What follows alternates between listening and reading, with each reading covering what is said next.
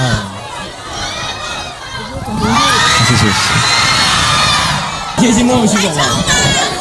现在大家听我说，啊，还有一个环节，这个环节呢是我们会通过一个网络的部分，因为有很多朋友今天不能够走进我们的现场，但是大家通过我们这个百度贴吧有留下自己的一些问题，我们呢已经抽出了三位，希望能够通过大屏幕让子涛呢来回答一下我们这三个问题，好不好？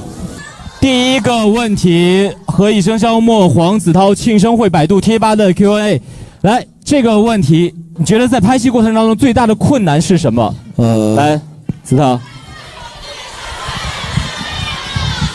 呃，因为第一最大的困难就是，其实我拍电影最大的那个困难，就是因为第一次拍戏，然后跟小明哥、杨幂哥对戏的时候，就是会很紧张，会咔，会有一些紧张的地方，对对，对？会断，然后需要重新开始。但是慢慢慢慢演就会越来越熟练，所以这是就刚开始拍的时候是我最大的困难。对。对，你要因为你拍戏的时候眼睛要注视别人的眼睛，没错。我是会有时候会有点害羞，没错。特别特别是跟那杨幂姐姐对戏的时候，我就对有点害羞。没关系了，呃，凯威哥哥是不会说什么的。我我老 我老是忘台词儿，对，所以我怕杨幂姐姐说我。